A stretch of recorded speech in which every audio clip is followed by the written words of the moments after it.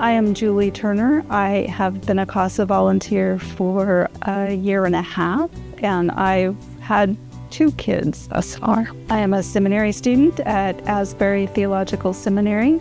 I was looking for something, some way to give back, some way to help um, children find a new hope, new possibilities in life.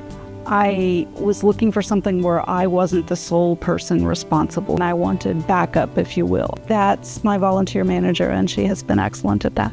Serving as a CASA volunteer has been exciting, challenging, um, fun as my kids uh, insist on playing games. It's um, one of the hardest things you will do, but also one of the most rewarding. I would invite people to look into it, to um, discover what it's all about.